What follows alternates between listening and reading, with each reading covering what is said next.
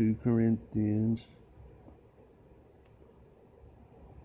12 14, verse 5.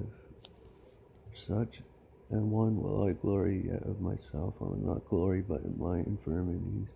For that I would desire to glory, shall not be a fool.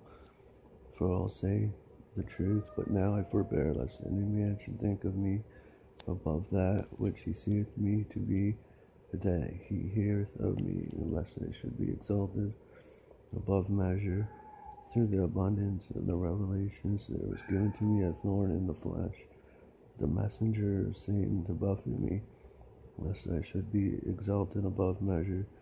For this thing I besought the Lord thrice, that it might depart from me. And he said unto me, My grace is sufficient for thee, for my strength is made perfect in weakness.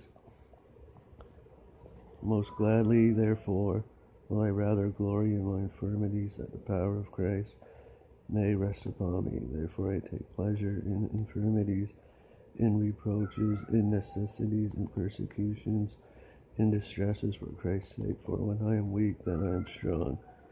I become a fool in glorying. Ye have compelled me, for I ought to have been commanded of you.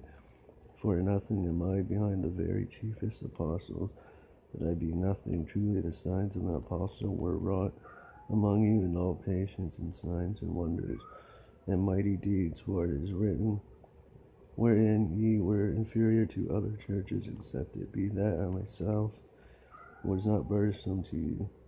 Forgive me this wrong. Behold, the third time I am ready to come to you, and I will not be burdensome to you. For I seek not yours, but you.